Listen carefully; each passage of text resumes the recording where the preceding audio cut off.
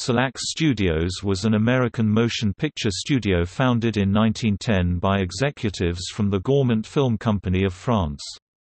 Alice Guy Blaché, her husband Herbert, and a third partner, George A. Magie, established the Solax Company. Alice Guy Blaché was artistic director and the director for many of its films, while her husband Herbert Blaché managed production for the new company. They took over the studio Gaumont had built in Flushing, New York in 1908 for the production of Chronophone sound films, a venture which proved unsuccessful for Gaumont. Solax produced silent films in Flushing from October 1910 to the summer of 1912.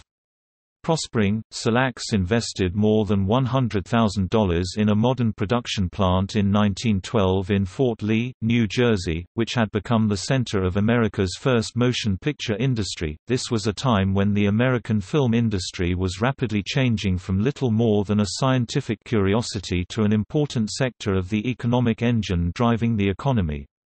In this environment, Solax Studios was conceived as an all-in-one operation with its own film processing laboratory and state-of-the-art stages built under a glass roof. In addition to the administrative offices, the production facilities included dressing rooms, a set fabrication workshop, and a costume design department with sewing room. In 1912, Solax Studios made a short film titled A Fool and His Money that was directed by Alice Guy Blaché. It is believed to be the first film ever made with a cast comprising only African American actors. The film is now at the National Center for Film and Video Preservation at the American Film Institute.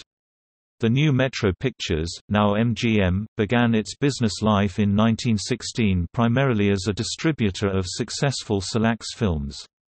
Several emerging stars appeared in Solax films including Lionel and Ethel Barrymore, Claire Whitney, Olga Petrova, and Billy Quirk.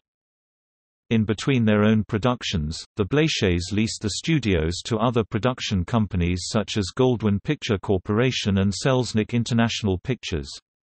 However, Solax and the rest of the East Coast film industry rapidly declined throughout the 1920s as a result of the phenomenal growth of motion picture facilities in Hollywood, California that offered lower costs and a climate that accommodated year-round filming. Inadequate firefighting methods resulted in the destruction of Solax film laboratories in Fort Lee, New Jersey in 1919.